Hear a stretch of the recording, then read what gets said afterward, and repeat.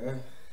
So now you can see me recording on this decent quality webcam, but it's not great quality, but compared to the stuff I usually use, you know. Um, I've now got to set up the sound to make the sound better on this video. So while I do that, I'm also going to be using the microphone to hopefully do some recording if I've still got time. So I've just spent like an hour uh, trying to set up uh, a camera with the uh, my phone basically. Used uh, recording with my phone but the microphone doesn't seem to be working on it.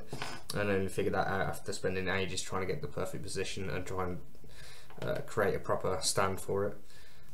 So I'm going to show you how I set up my microphone to be much better than it is now that you can hear now. Um, I'm just going to turn the camera off on the actual phone so that doesn't run out of battery. Ah cheap shit man So start off some basic stuff. Where is it? There it is. And by basic stuff, I mean cup of tea. Dynamic microphone. This is the most common typical microphone that you will see. Uh, used in like karaoke, used in pretty much all venues. Uh, there's an audience, and this one is a condenser microphone now, the difference between the two, um, you'll get them at different prices, so different quality and everything, but overall, the main difference you need to know is this is for live venues where there will be background noise because it's designed so that it picks up on sound waves that are closer to the actual microphone head mesh, whatever you want to call it. Um, and will filter out more of the background noise, not completely obviously, but uh, that's why they're used in live venues. Um, whereas this one um, captures the whole room, but the reason you would go for this one and like why wouldn't you just go for this one?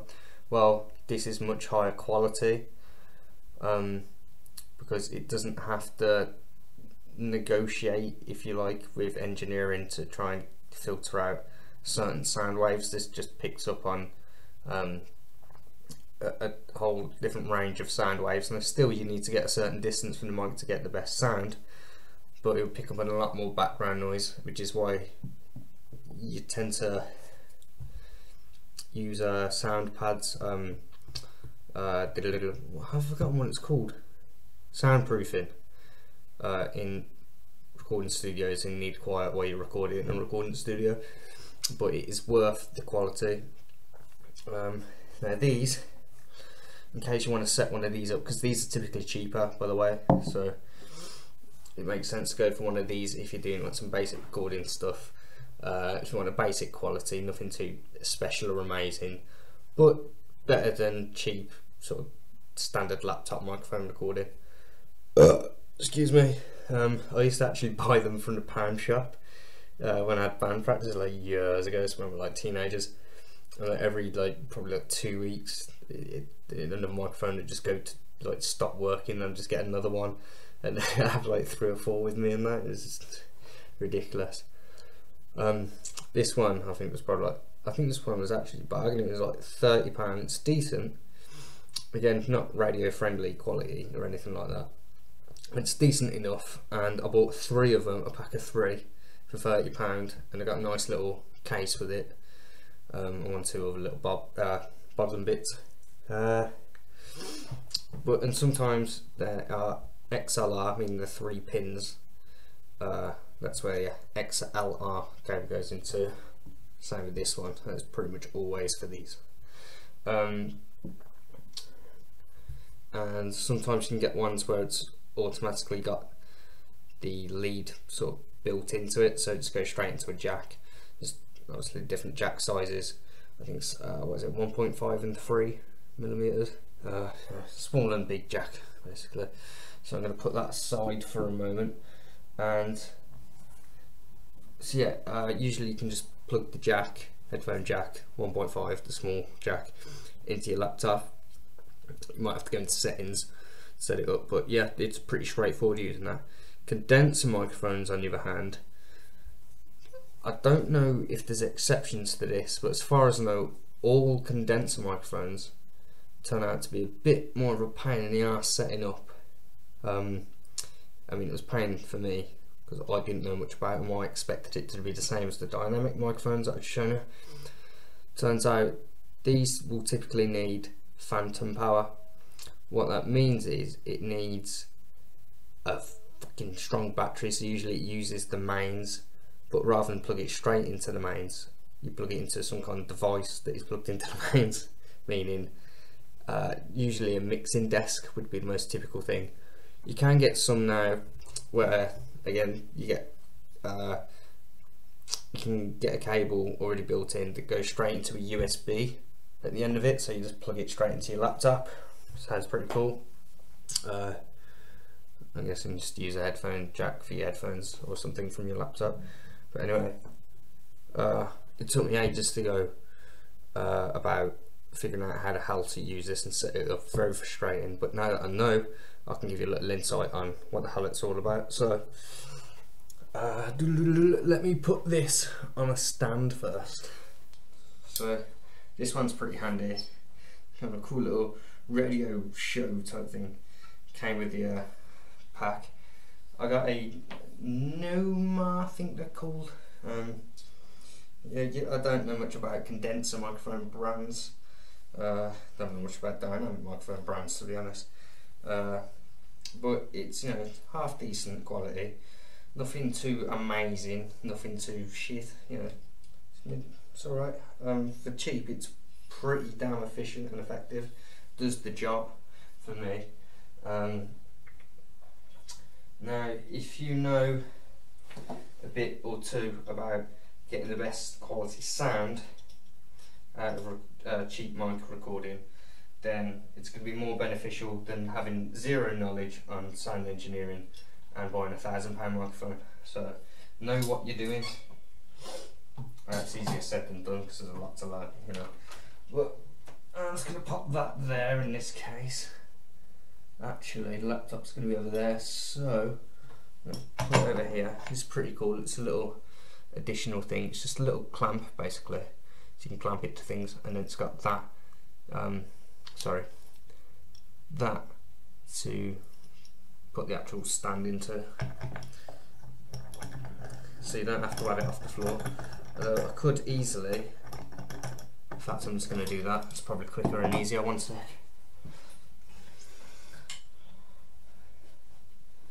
ta da da a normal microphone stand. I don't know about different names just mic stand. That's, that's all I know uh, so oh tighten them a bit, didn't I? Right. So now the cool thing is, oh, by the way, dynamic mics will have that kind of holder, I suppose. Whereas the condenser microphones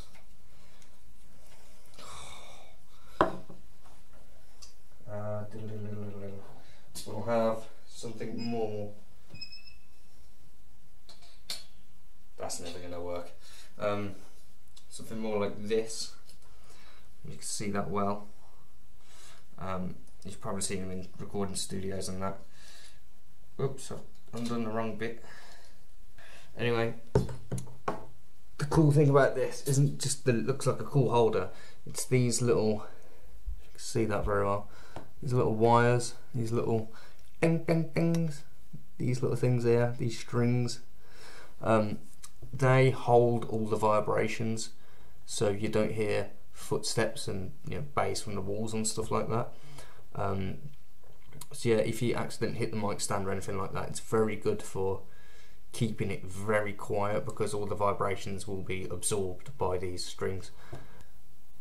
Sweet. Maybe.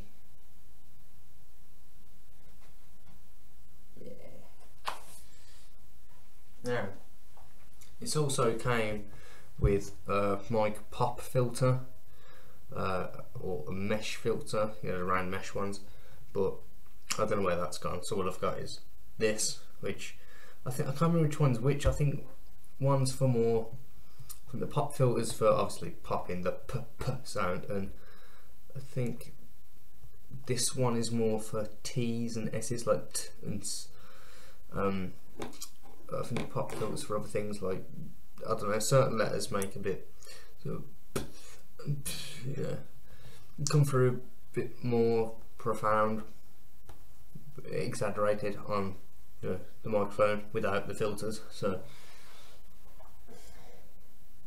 I've heard debates between which one you should choose. I've always just used the two, except for when I lost it, in which case I'm just using this one. But, uh, alternatively, if you if you really that broke, I used to just use a, a bandana and wrap that around it.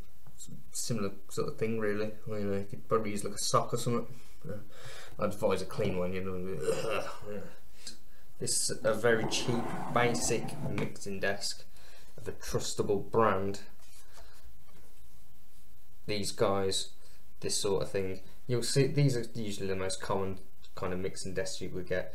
Uh, I've seen ones too cheaper. I happen to go with this one. Um, so yeah, Phantom Powered. You'll probably mention on there somewhere. Mention on the box if anything.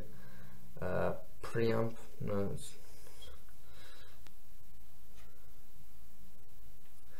Doesn't mention that it's phantom powered specifically, but you know it, it plugs in by the mains. So you can guess, and it's got the XLR uh, in, what do you call it, line in, uh, and then the jack one. If you get a jack cable that goes into this microphone, it will not work. I spent ages trying different things. It doesn't work. You have to use XLR to XLR. That's another little catch that you need to know about. So So I'm about to plug in the mixing desk and also I need to plug in the laptop so that doesn't run out of battery. And we have power. So now that's another thing uh, music teacher would not be happy with how long I've left this but you want to make sure in fact I'm going to unplug this completely. Wrap this around the microphone stand because it's one thing to have an accident to yourself but something that affects your equipment is just never good and it will all end up in tears. So be sure to ta-da, tidy up your cables, get your shit together. Right, now then, you have power. So all we need to do now is plug it in via the USB. is what I thirst for when I used to have this thing. Um, turns out you need one of these bad boys. Now if you're wondering what this is called, so am I. I can't remember, but it is something that sends something. It sends the mixing desk to the laptop, or laptop to the mixing desk. Um, so the mixing desk is halfway point, and this is an extra stage in it. Sometimes you'll have uh, a mixing desk that will be able to be plugged straight into the laptop. I don't think many do. USB goes into the laptop nice and easy. It's uh, knowing what you got to get and then actually getting it that's a pain in the ass. So that's all set up. You could hear the little ding on my laptop then as well.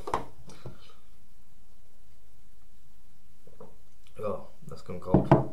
Right. Last but not least, oh, I forgot the name of these bloody things as well. These things, the little things you get like on the back of the old big ass box tellers that used to blow up after like 20 years. Um, can't they're called. I'm sure you've seen them, the little aerial type looking things. You don't want the yellow ones, you just want red and, uh, red and white to red and white, and you want two of them. So, red and white to red and white.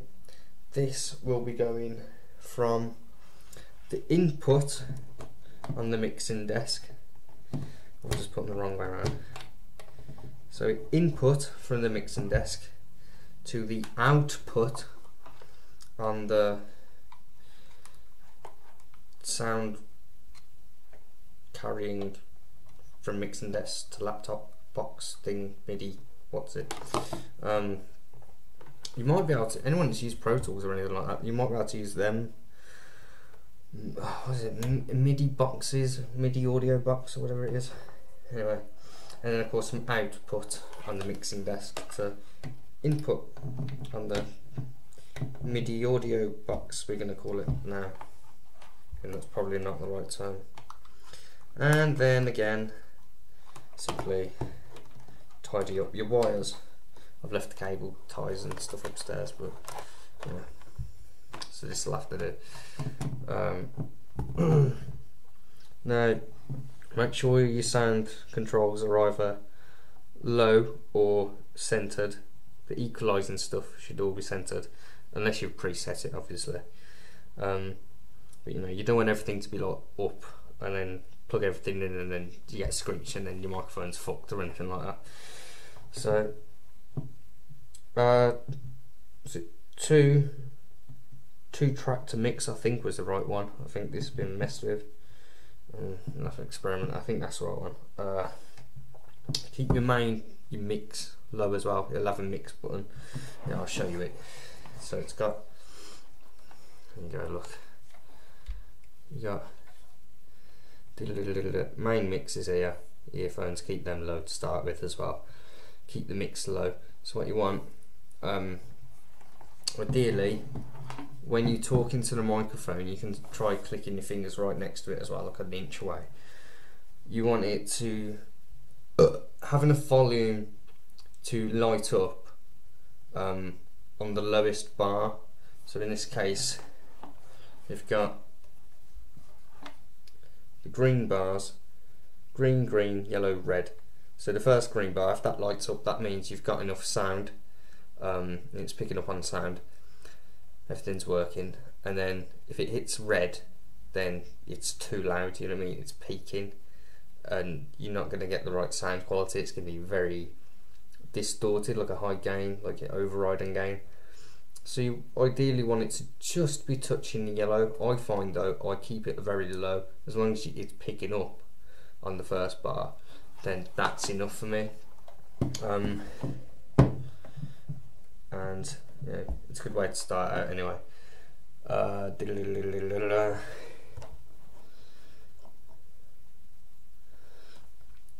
make sure your monitor, if you like, your MIDI audio monitor is switched on. There's no point showing you the on button, you, you can figure that out. Turn it up a little bit if there's a volume uh, switch or whatever. Scroller. And then, yeah, I'm ready to go. All I've got to do now is set the camera up so that this microphone will be going through. And that will happen now. And boom it's working hopefully. If all goes well and correctly this should be picking up pretty nicely. Now if you're going to go really quiet you can get quite close to the microphone. But roughly you want well depends on your voice I think uh, was it higher pitch voices should be a little further back and lower I've heard. I don't. I'm not convinced by that. But if you've got a particularly deep voice, apparently you're supposed to go a little above the microphone. Although I don't. That might. I might have got that wrong. That might be to get a deeper voice, pick up on more bass. I don't know. Anyway, experiment with being above to experiment the bass, and then I find the best sound for me personally be about a foot away from this. So to you, I'm looking at like this, so I could fit like two hands like that. And I'm nearly, yeah, so two hands. I've got little hands, but you know, I think it's probably just over a foot actually. This is probably about a foot, um, slightly over a foot, and then about an inch or two above the microphone. Seems work for the best sound overall for me. Uh, experiment see what works for you. I'm going to have to do this for the camera now. Um, I'll set this up, set this back even. So now that this is all set up, looking a bit scruffy and so now I can go on to the music software and start recording and I'll show you how to do that in the next video because this one has taken way longer than it should have needed to. Um, no doubt my daughters are going to wake up any second now so I think I'm going to take a little two minute break to myself and uh, crack on with the day from there I think. Alright, so um, any questions you can ask of course. Uh, don't know if I'll be able to answer them all but you know, if I happen to know the right guy to go to, because I've seen quite a few videos and playlists and stuff like that, I can hopefully send you in the right direction. So I'll see if I can find the right video for condenser microphones and basically the equipment you'll need to set one up rather than just go for the equipment that I've used. You might look at alternative options or at least have a uh, know the names of things so you can actually look for them on like eBay, Amazon, whatever. So Oh, one last thing. You can plug your earphones. I wouldn't recommend using earphones actually. I'll talk about this in a second. You can plug them either into the audio box, which is what I tend to do. Um, I've never tried plugging them into the mixing desk, mainly because you need like a bigger jack, which I've got. But you know, um, or sometimes you can plug them straight into the laptop. But I typically do it in the mixing desk. Uh, the, sorry, the audio MIDI box um, monitor thing. Other than that, I was going to talk about some one of the earphones. Yeah, see, I've been using these Bassy earphones, JVC Marshmallows. They're not too bad for making a basic rough home recording, but they're not very efficient. Most of earphones are really bad. These are not too bad for it. They're the best of the ones I've found anyway, because of the bass they carry and the equaliser that it has built in. Um, the reason you shouldn't be using earphones in general is because it might sound good through the earphones and on a computer uh, and maybe on a little basic speaker that has a bit of bass to it. but when you play it back through say like a car stereo you're going to get a lot more bass than expected. Typically, like the sound levels aren't going to be the same um, because you're putting it through a different equalizer, and you'll get that wishy-washy uh, or, or, tinny sort of sound. You know, it's like it's underwater. Um, so you're supposed to be using studio monitors. I don't really have any. I'm going to soon, when my mate gives me my old PA speakers that I don't think anyone's used and they've just been sort of lying around somewhere for quite a long time his office. I'll be able to set up PA speakers, hopefully use them as monitors and see if it's quite the same thing or not. Because uh, I think they're basically arm monitors, they're just typically used for, by vocalists, so they have a slightly different equaliser built in.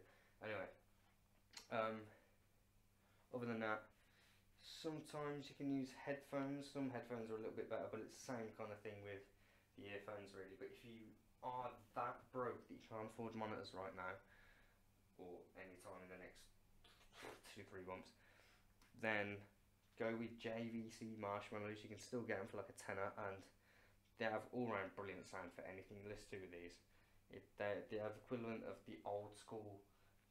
Uh, it's hard to find them now because you get all sorts of headphones. Like even with uh, Skullcandies and Dre Beats headphones, I've tried they're nowhere near as good as these, don't think, because they carry that old school stereo bass into them, and they just balance out different styles of equalizer very well. Anyway, JVC marshmallows, they're the ones I'll go for. Although there's some new marshmallow JVC ones, and they're not quite as good.